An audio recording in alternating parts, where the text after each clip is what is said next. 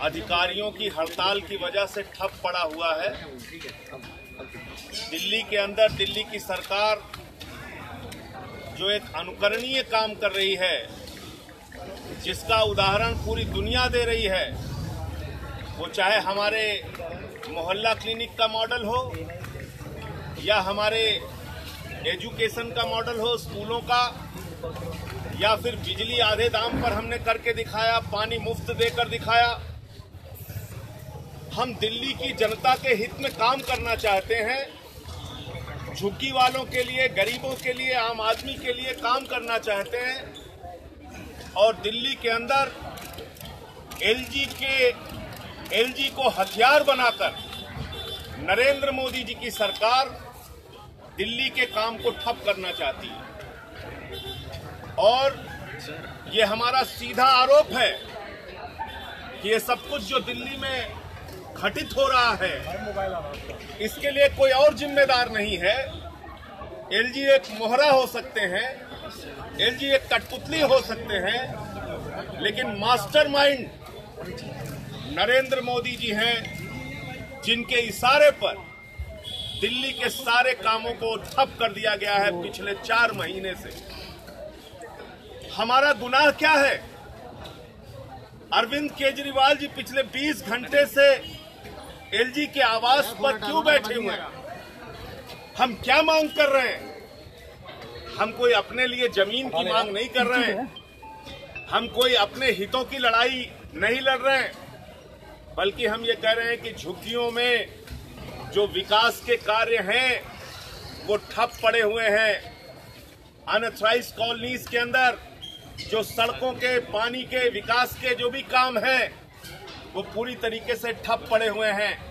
हम ये कह रहे हैं, मोहल्ला क्लिनिक जो एक हज़ार मोहल्ला क्लिनिक बनना है, जिसके बारे में आज अमेरिका और दुनिया के तमाम देश चर्चा कर रहे हैं कि मोहल्ला क्लिनिक का हमारा मॉडल, सबसे सक्सेसफुल मॉडल है स्वास्थ्य के क्षेत्र में। उस मोहल्ला क्लिनिक के मॉडल को ठप करने का काम पिछले चार महीने से अधिकारियों ने किया है। ना मोहल्ला क्लिनिक बन पा रहे हैं, ना उसमें डॉक्टरों की नियुक्ति की हमको अनुमति मिल पा रही है। इसी तरीके से सीसीटीवी कैमरे, जिसको महिलाओं की सुरक्षा की दृष्टि से भी और दिल्ली की सुरक्षा की दृष्टि से भी आम आदमी पार्टी की सरकार ने वादा किया था कि हम सीसीटीवी कैमरे लगवाएँगे। बार बार अनुरोध करने के बाद बार बार फाइलें भेजने के बाद सीसीटीवी कैमरे लगवाने के काम पर पूरी तरीके से ताला लगा दिया गया है।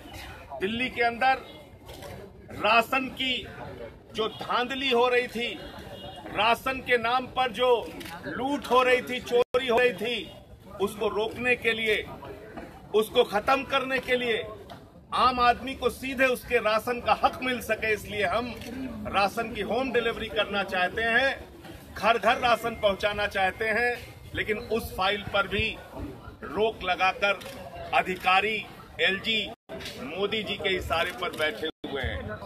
आप मुझे जरा बताइए एक चुनी हुई सरकार सड़सठ विधायकों के प्रचंड बहुमत से चुनी हुई सरकार उसका सिर्फ़ इतना गुनाह है कि वो जनता के हक में काम करना चाहती है जनता की तरक्की और विकास के लिए काम करना चाहती है दिल्ली वालों के लिए काम करना चाहती है। लेकिन मोदी जी दिल्ली में अपनी हार को पचा नहीं पा रहे हैं। दिल्ली में जिस दिन से आम आदमी पार्टी की सरकार बनी है दुर्भावना से केंद्र सरकार हमारे खिलाफ काम कर रही है।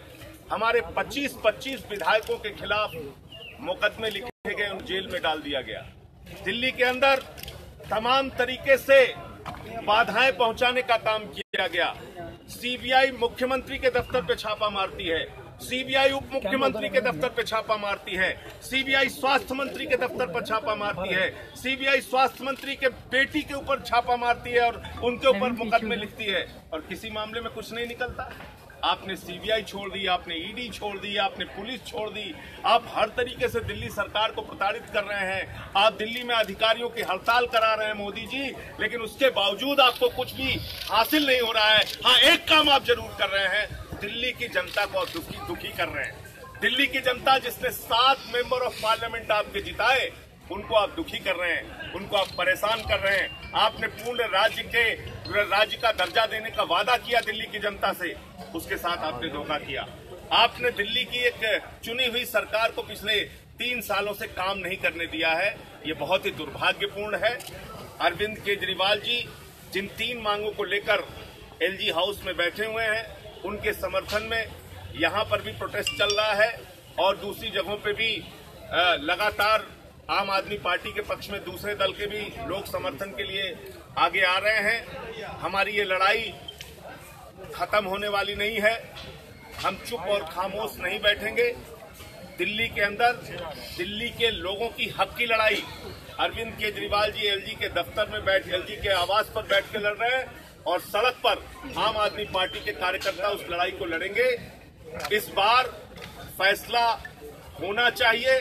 बार बार आप टरकाने की जो एक प्रवृत्ति आपने अपना रखी है, और एलजी साहब की भी मजबूरी है, जो आदेश उनको, उनके आका नरेंद्र मोदी जी की ओर मिलेगा, वही काम उनको करना है। तो इसलिए एक एक दिल्ली की अच्छी हुई सरकार को जो चलने नहीं दिया जा रहा है, अब इसके खिलाफ हम खामोश नहीं रहेंगे।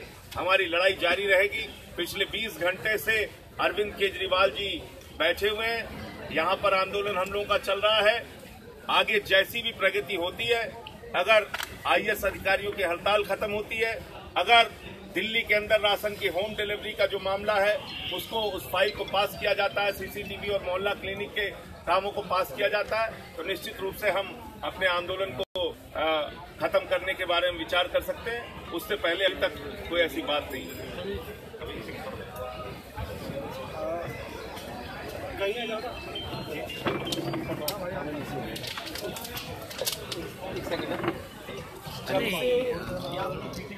मुख्यमंत्री एलजी साहब के यहाँ बैठे हुए हैं।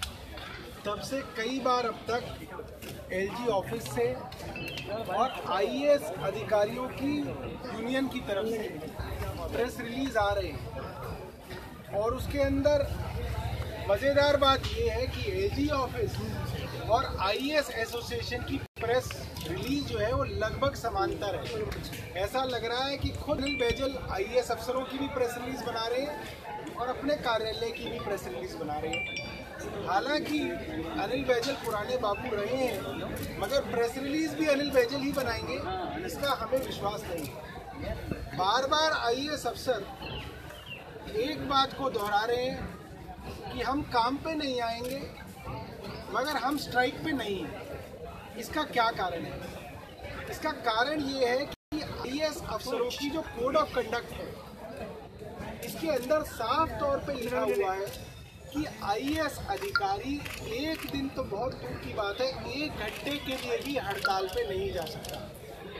और इस कोड ऑफ़ कंडक्ट के अंदर rule number seven demonstration and strikes इसके अंदर भारत सरकार के, भारत सरकार के ऑर्डर्स हैं जिसके अंदर लिखा हुआ है, ना सिर्फ़ काम पे ना आना। इसके अंदर सारी डेफिनेशन लिखी हुई है, इसमें बताया गया है।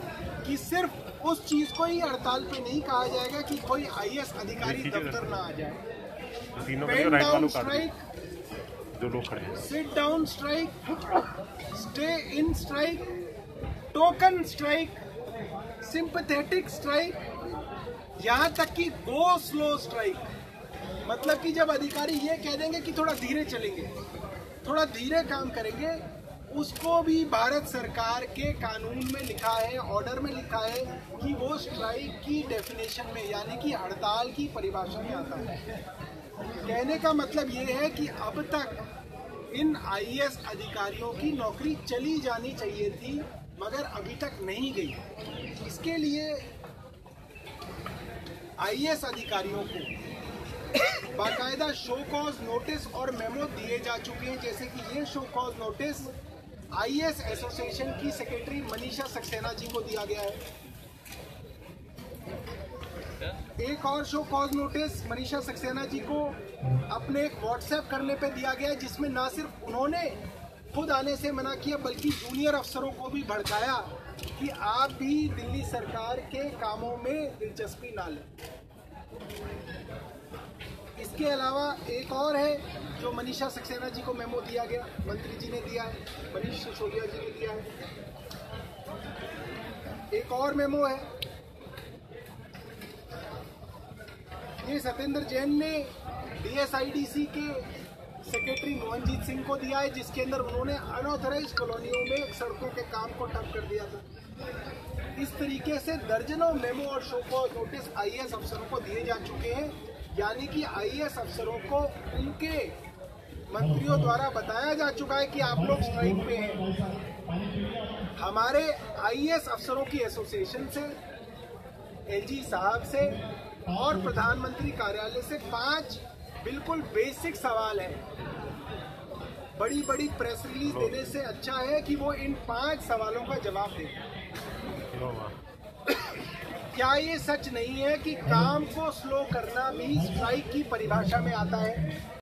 सवाल नंबर एक is it not true that slowing down work is also a form of strike under I S and C C S officers conduct सवाल नंबर दो मीटिंग्स को बाइकआउट करना क्या हड़ताल में नहीं आता है?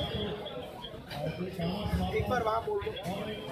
Is boycotting the meetings of the minister not included in the strike number तीन कोर्ट के आदेश पर भी हाई कोर्ट के आदेश पर भी अगर अफसर फ़ील्ड इंस्पेक्शन पे नहीं जा रहे हैं तो क्या वो हड़ताल पे नहीं आता? Is it not true that not going to the inspection and the field visits even on the instructions and directions of high court is not under the definition of strike.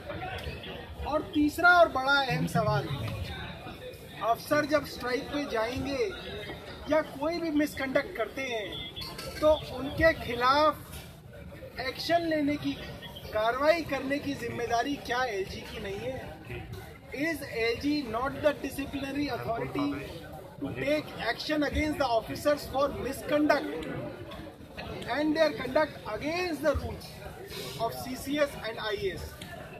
और पांचवा और सबसे बड़ा सवाल ये है कि मंत्री जियों मंत्रियों ने और मुख्यमंत्री ने एलजी साहब को कई बार ये बताया, लिखित में शिकायत की कि आईएएस अफसर स्ट्राइक पे हैं, हड़ताल पे हैं चार महीने में एलजी साहब ने अब तक किसी भी अधिकारी के ऊपर क्यों कार्रवाई नहीं की? एलजी साहब, ये बात बताएँ। दिल्ली की जनता को बताएँ कि ये काम क्यों नहीं हुआ। अब मैं आतिशी जी से कहूँगा कि वो कुछ उदाहरण रखें कि किस तरीके से आईएएस अफसर ना सिर्फ़ खुद काम कर रहे हैं, बल्कि जूनियर अफसर्स को भी काम करने से रोक रहे हैं।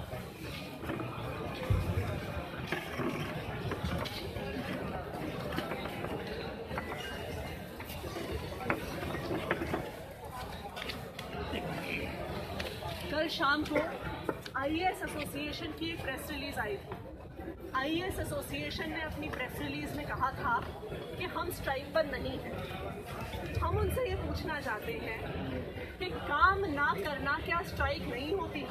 और अब कई ऐसे उदाहरण सामने आ गए हैं कि जो पिछले 112 दिन जब से आईएएस अफसर स्ट्राइक पर हैं तो किस तरह से काम दिल्ली के टैक्स पेयर के पैसे से दिल्ली के आम इंसान के हित के जो काम है, जो रुके हुए हैं। दिल्ली में रहने वाले सब लोगों को पता है कि पिछले कई सालों से सिग्नेचर ब्रिज का काम स्लो चल रहा था। पिछले कुछ महीनों में उसे एक्सपेडाइट करने का छह महीने में प्रयास किया गया। हाई कोर्ट के आदेश के बावजूद, जब मंत्री tourism minister chief minister signature bridge को इंस्पेक्ट करने जाते हैं तो एक भी आईएएस अफसर उनके साथ नहीं जाता। पीडब्ल्यूडी के सेक्रेटरी और टूरिज़्म के सेक्रेटरी और फाइनेंस सेक्रेटरी कई महीनों से फ़ाइल फ़ाइल खेल रहे हैं। पेमेंट जो जाना है, डिपार्टमेंट को जा नहीं रहा। हर हफ़्ते एक चिट्ठी लिख के भेज देते हैं कि आज पीडब्ल्यूडी ने चिट्ठी टूरिज़्म को भेज दी। टूरिज़्म लिख के भेज देता है कि हमने फाइनेंस को भेज दी। मंत्री जब रिव्यू मीटिंग तीनों डिपार्टमेंट्स की बुलाते हैं तो एक भी अफसर नहीं जाता। सिग्नेचर ब्रिज का जो खर्चा रोज रोज बढ़ रहा है, उसके पैसा दिल्ली का टैक्स पेयर दे रहा है। इन आईएएस अफसरों को तो हर महीने अपनी तनख्वाह मिल रही है। दूसरी बात, दिल्ली सरकार को कुछ बसेस प्रोक्योर करनी है। हर साल ये चर्चा होती है कि बसेस प्रोक्योरमेंट स्लो चल रहा है। प्रोक्योरमेंट का मामला दिल्ली हाई कोर्ट पहुँचता है।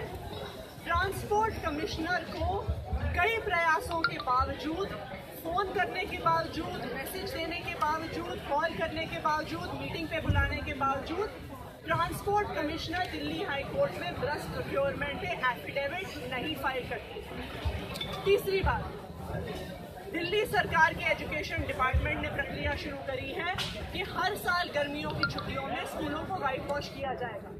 हम सबको पता है कि तीन साल पहले क्या हालत थी दिल्ली के सरकारी स्कूलों छह महीने से इसकी रिव्यू प्रोसेस चल रही है पीडब्ल्यूडी फाइनेंस और एजुकेशन के साथ।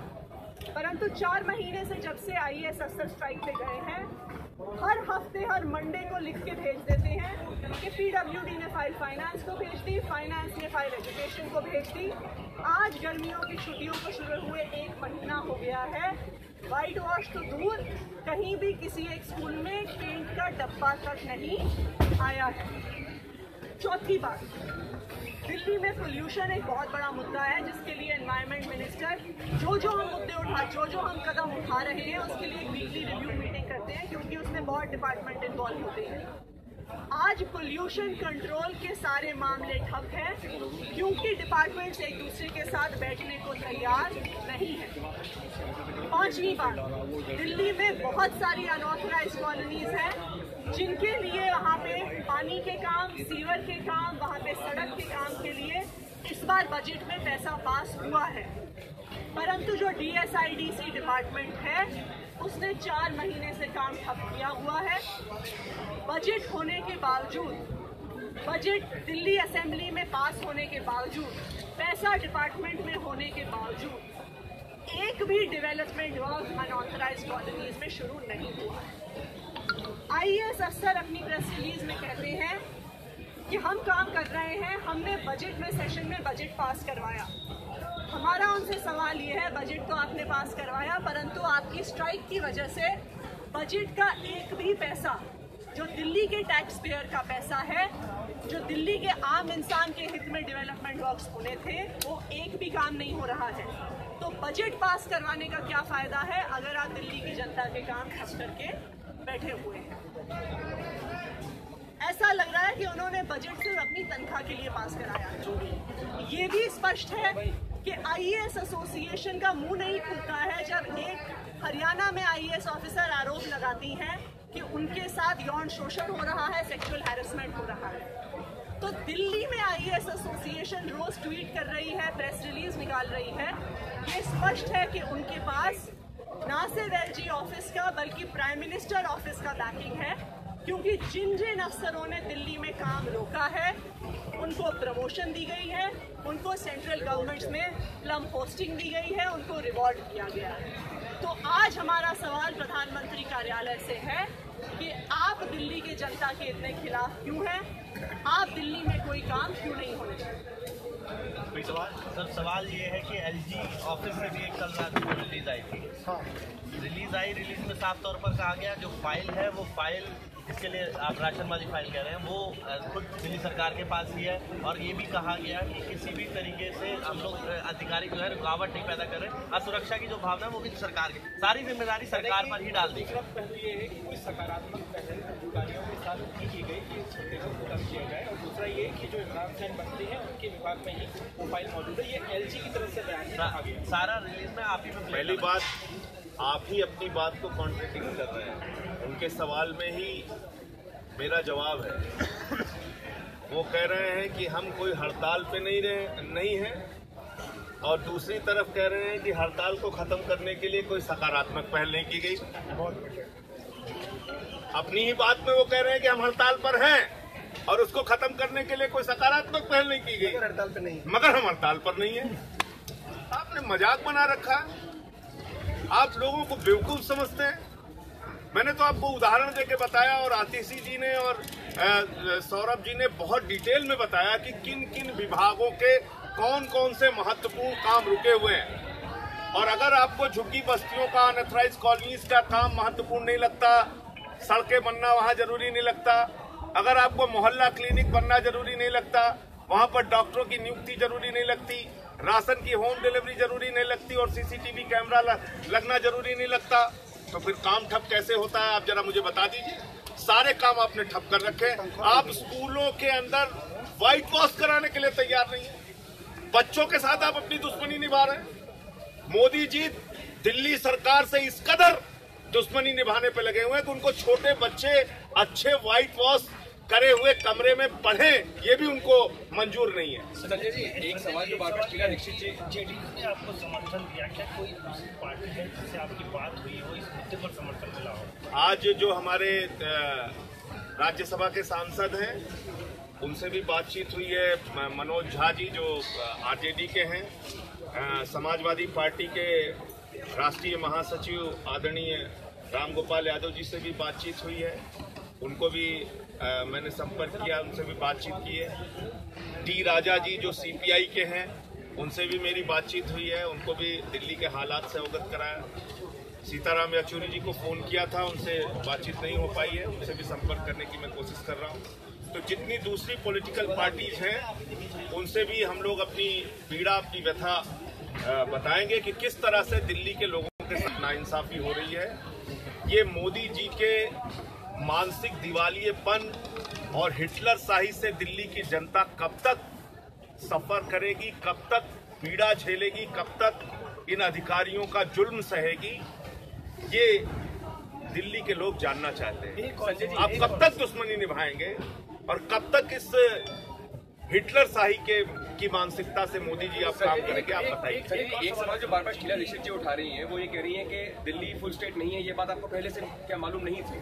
तो क्यों आप why you not adopting a conciliatory mechanism with PM देखिए दिल्ली फुल स्टेट नहीं होते हुए भी शीला दीक्षित जी ने 10 सालों तक तब काम किया जब कांग्रेस की सरकार थी। राज्य और केंद्र दोनों में कांग्रेस की सरकार थी। और आप शीला दीक्षित जी की बात को आज बार बार कोट कर रहे हैं। कृपा करके उनके कार्यकाल में एलजी के द्वारा जो उनके कामों में बाधाएँ उठाई गई, लगाई गई, उसको जरा पढ़ लीजिए और उसको जरा मीडिया पे दिखाइए। मीडिया पर दिखाइए। और अगर शीला दीक्षित जी को ये लग रहा था कि भाई दिल्ली बहुत अच्छा राज्य है और सब कुछ ठीक ठीक ढंग से संचालित हो रहा है तो उनको अपने घोषणा पत्र में पूर्ण राज्य की बात नहीं लिखनी चाहिए। क्यों लिखा? इसका मतलब उनका काम बाधित हो रहा था उनको पूर्ण राज्य चाहिए इसलिए उन्होंने अपने घोषणा पत्र में लिखा हम पूर्ण राज्य देंगे दिल्ली को। अगर ऐसा नहीं लग रहा था सब कुछ बहुत यहाँ पे अ, मंगल भवन सब चल रहा था तो फिर उसको उस हिसाब से चलने देते आप दिल्ली को। पीड़ित सब तब भी थी लेकिन क्या है कि आम आदमी पार्टी की सरकार को टारगेट मैंने तो आपको बताया सीबीआई के इतने छापे किसी देश की एक भी सरकार के खिलाफ बता दीजिए पड़े हो। एसीबी की इतनी जाँच किसी सरकार के खिलाफ हुए हो, जरा बता दीजिए। मिलता कुछ नहीं। आपने राजेंद्र कुमार जैसे आईएएस अधिकारी को बुला के पाँच दिनों तक गालियाँ दी। शर्म नहीं आती मोदी जी को अपनी सीबीआई छोड़ रखा है आपने। तोते को आप हर दिन दाना चुगने के लिए कहीं आप मोहल्ला क्लिनिक में भेज देते हैं, कहीं जल बोर्ड में भेज देते हैं। आपका तोता कहाँ कहाँ जाएगा? लेकिन इन तोतों को ये समझना चाहिए कि मालिक हमेशा एक नहीं होता है। आज तुम्हारा मालिक नरेंद्र मोदी और अमित शाह है 19 के बाद ये मालिक बदलेंगे। तो तोतों को भी अपनी हैसियत में रहना चाहिए। ये हर जगह जो किसी के बच्चे, बताइए आप, सत्येन जैन की बेटी के खिलाफ आपने दो साल तक जाँच की और कुछ नहीं मिला। उसका जो मान सम्मान गया, उसको कैसे आप वापस करेंगे? तो ये ये सब बहुत बड़ा सवाल है। एक सवाल है कि आप लोगों मनवाने शुरू से ही इस तरह से आंदोलन करना पड़ा। क्या ये मान लें कि अब एक बार फिर से उसी रास्ते पर आपको चलना पड़ रहा है, उसकी शुरुआत है? ये कोई खुशी से नहीं चलना पड़ रहा है। ये वेदना के कारण, पीड़ा के कारण और हर काम में जो बाधाएँ हम लोग जिसका सामना कर रहे हैं, उसके कारण करना पड़ रहा है। चार महीने से जो हम बार बार चिट्ठियाँ लिख रहे हैं, चाह रहे हैं, अनुरोध कर रहे हैं, निवेदन कर रहे हैं ऐसा मालूम पड़ रहा है कि दिल्ली के मुख्यमंत्री और दिल्ली के जितने चुने हुए विधायक हैं, मंत्री हैं, वो तो याचक की मुद्रा में हो गए। और ये सब महाराजा हैं, एक महाराजा मोदी जी हैं, दूसरे महाराजा अनिल बैजल हैं, तीसरे महाराजा अमित शाह हैं, चौथे महाराजा ये आईएएस अधिकारी हैं। ये राजा हैं। हम लोग घुटना टेक के इनके सामने खड़े हैं, मालिक ये कर दो, मालिक वो कर दो। ऐसे थोड़ी चलेगा डेमोक्रेसी के अंदर। ऐसे लोकतंत्र थोड़ी चलेगा। ये कोई लाट साहब का तंत्र थोड़ी चल रहा है?